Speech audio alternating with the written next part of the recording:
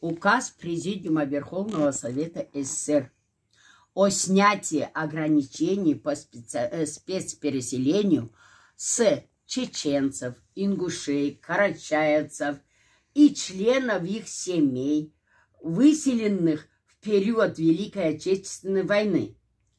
Учитывая, что существующие ограничения правовом положении находятся на спецпоселении чеченцев, ингушей, карачаевцев и членов их семей, выселенных в период Великой Отечественной войны Северного Кавказа, в дальнейшем не вызываются необходимостью Президиума Верховного Совета СССР.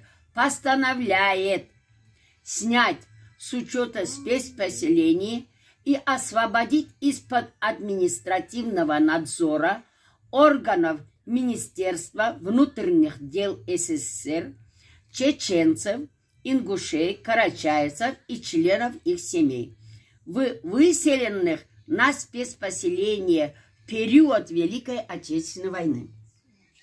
Установить, что снятие ограничений по спецпоселению с лиц, перечисленных в, э, в статье первой настоящего указа, не влечет за собой возвращение им имущества, конфискованного при выселении, и что они не имеют права возвращаться в места, откуда были выселены.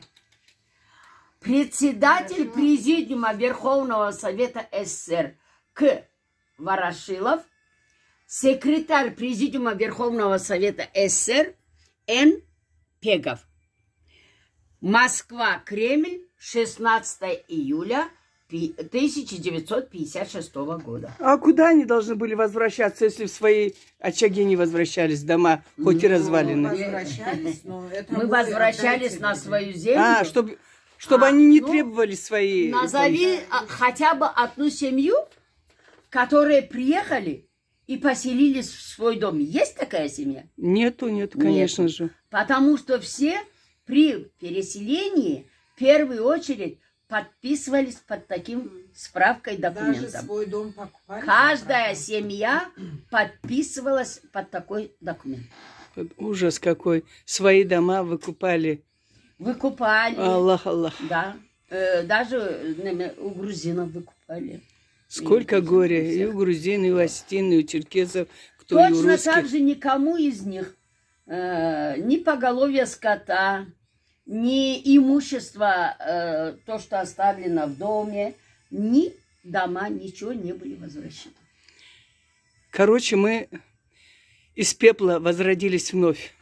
Да. Карачаевцы, ингуши, чеченцы, балкарцы.